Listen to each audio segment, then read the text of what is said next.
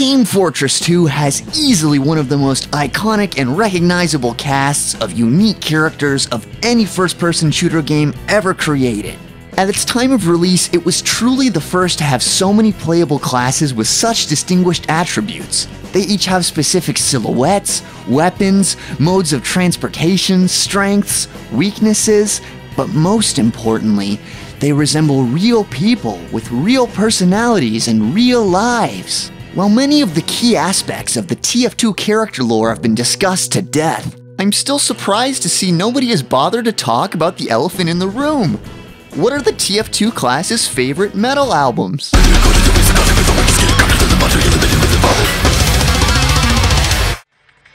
Using information withdrawn from leaked emails between the TF2 mercenaries and a convoluted imbroglio of my own prophetic visions and nightmares, I'm excited to reveal the truth about which metal albums really matter most to the TF2 gang.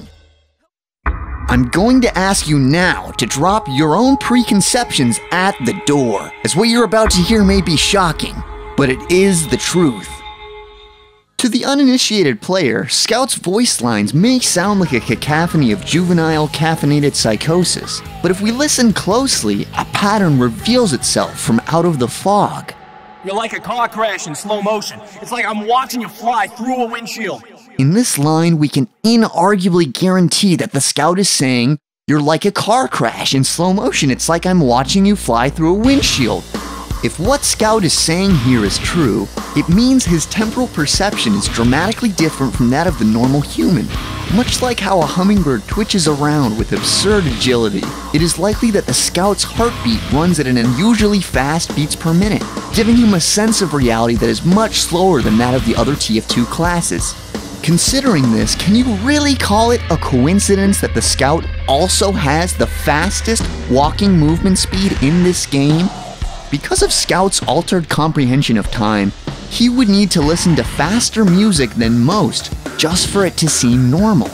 Which has to mean one thing the Scout is a grindcore superfan.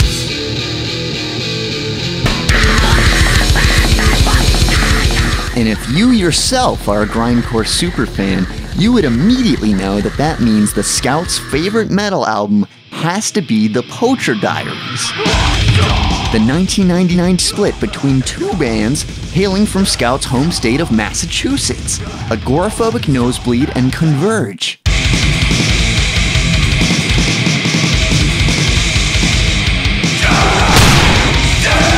Agoraphobic Nosebleed, led by Grindcore Hall of Famer Scott Hull, known for his work with Anal Cunt and Pig Destroyer, deliver their classic adrenaline-filled drum machine cyber grind sound on this split, while Converge mixed together grind influences with math and metalcore.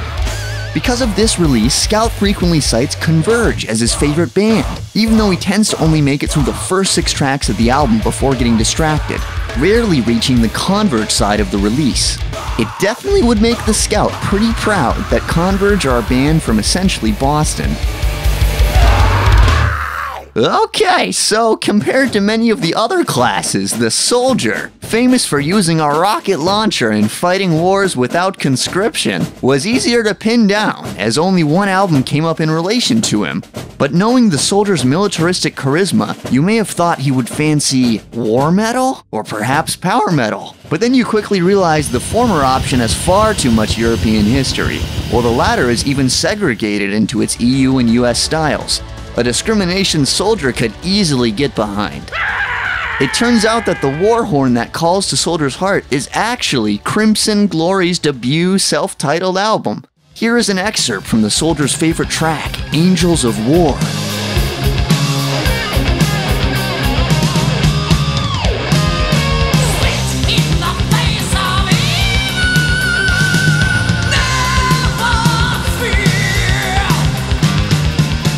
It is said that when the soldier first heard this album in 1986, he described it as being so heavy that he hated it.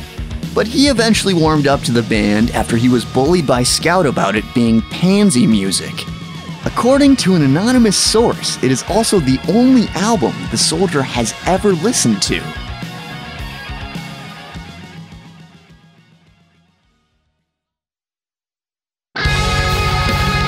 Moving on to the Pyro, who is no doubt the most mysterious class in Team Fortress 2. Are they a boy? Are they a girl? Are they even human? Earlier this year, while I was doing my research, I found a suspicious review on allmusic.com that could only mean one thing. Hey, that's the Pyro. And what album was it that this Pyro was praising?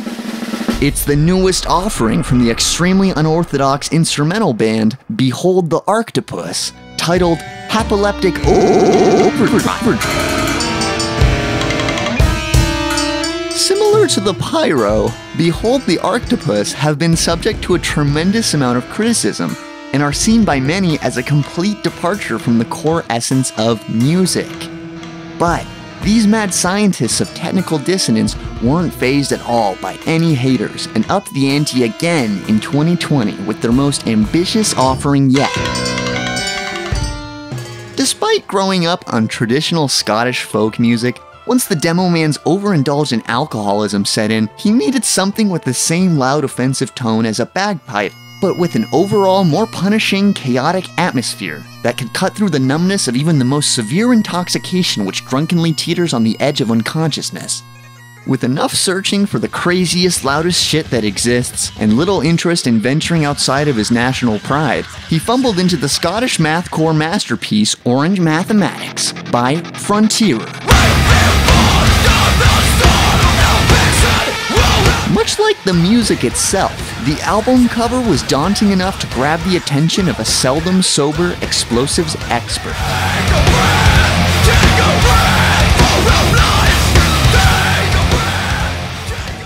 Now, when it comes to the heavy, you were probably thinking, hey, if the scout loves grinding fast shit and the scout is so fast, then the heavy, who is so slow, has to enjoy really slow shit. Like, give this guy some drone metal and call it a day. But wait one minute, not so fast. Could there be a niche subgenre dedicated to slow, groovy sections that has a lyrical fixation on perverse violence with a strong current of lovable bands spawning from Russia? Of course, it's slam death metal. Now, when most people think of Russian slamming brutal death metal, they surely think of abominable putridity or Katalepsy but the Heavy is a more discerning consumer of slam than you'd expect, and craves an even rawer sound without that plasticky coating of modern production that will only hamper the power of the grossest and slowest caveman riffs. For the heavy weapons guy, there is nothing better than the 2013 promo by Russia's own Decomposition of Entrails.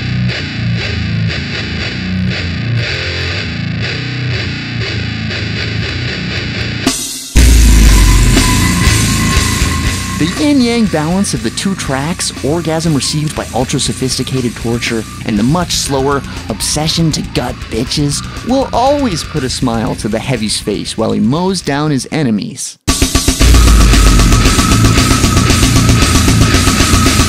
So, if you've seen Meet the Engineer, you might have assumed that the engineer's favorite style of music is probably country or folk. But you're wrong. I even asked him myself. Tend to prefer bands and music that deals with machines and not philosophy. And what album could be more machine like than Meshuggah's Catch 33? It also doesn't deal with philosophy so long as you don't read the lyrics. Meshuggah just might be the world's most successful and prolific band to be famous for playing really difficult to remember sequences of rhythms that are also surprisingly easy to groove to. And Catch 33 is easily their most cold, mechanical, and experimental release, made for the engineer himself.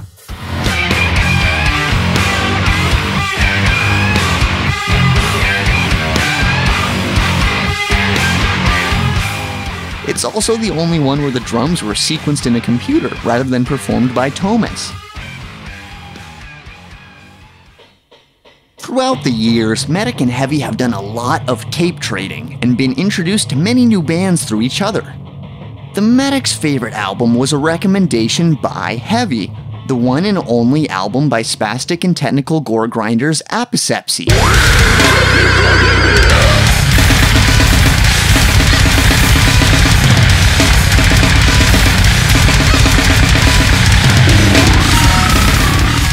Lyrical themes like amputated smashed limbs and the smell of singed flesh were enough to reel the medic into embracing Aposepsy's over the top brutal sound. The sniper, while born in New Zealand, has spent most of his life in the Australian outback, a scalding environment which is hardly friendly to a human being.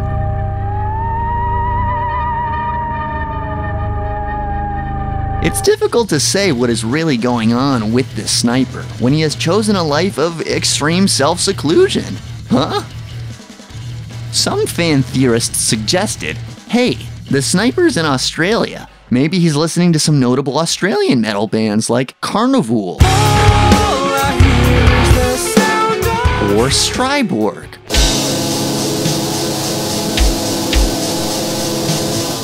Or the Berzerker. And you're right, but he's not listening to those Australian bands mm-hmm. because the sniper craves music that imbues itself with the spirit of the wilderness that he has called home, which is a tall order that, of course, can only be met by the Australian funeral doom masterminds known as Mournful Congregation.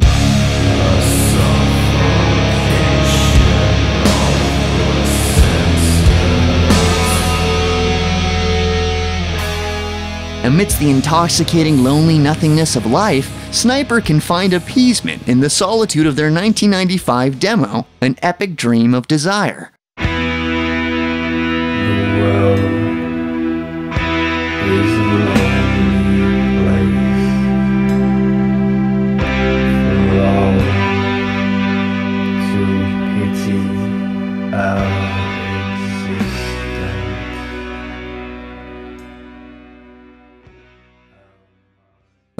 Last but not least is the spy, the enigmatic, shape shifting, womanizing serial killer whose role in the game is probably the least like the others.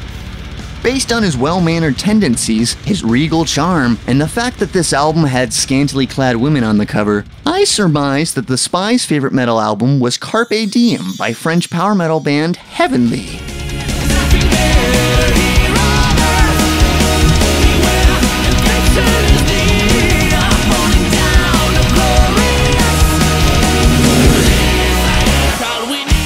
But no, his operations were more secretive than even I expected.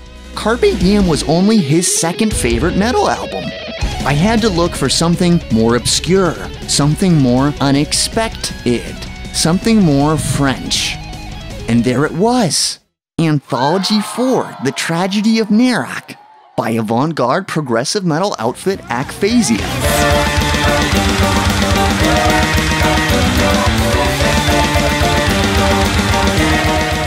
And truthfully, Spy would tell you that his real favorite metal album is actually the original 2004 demo version of Akphaezya's 2008 album, Anthology 2, which you probably can't find anywhere. And that's the way he likes it.